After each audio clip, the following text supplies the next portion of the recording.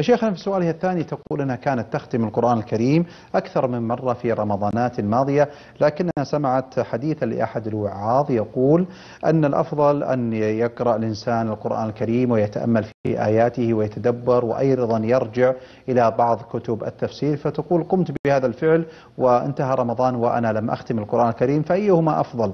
أن أقرأ قراءة تدبرية وأعود فيها إلى كتب التفسير أم أن أقوم بقراءة القرآن وأختمه أكثر من مرة؟ والله الذي يظهر لي إن كانت قادرة على أن تخص رمضان بالتلاوة المتتابعة وتحصل على ختمة أو ختمتين أو ثلاث ختمات أو نحو ذلك فهذا فيه فضل عظيم. وتلاوة القرآن ورد عن رسول الله صلى الله عليه وسلم بما هو ثابت عنه بأنه صلى الله عليه وسلم قال إن تالي القرآن له بكل حرف عشر حسنات.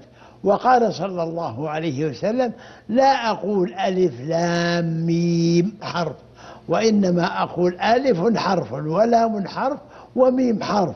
فالجميع بثلاثين حسنة. بس قالت ألف لام ميم. ثلاثين حسنة. فكيف ما شاء الله بما تذكره جزء جزوين ثلاثة أجزاء أقل أكثر. فهذا في الواقع على كل حال ما في شك هذا إن شاء الله فيه فضل عظيم وفيه أجر عظيم. ولعلها كذلك ما تبخل على نفسها بتدبر كتاب الله.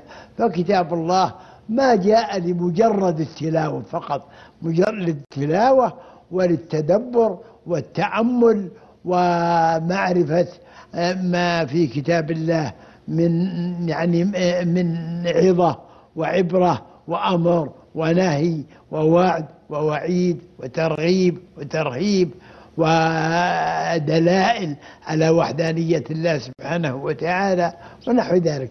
فالحاصل إن شاء الله أنها تستطيع أن تجمع بين الأمرين.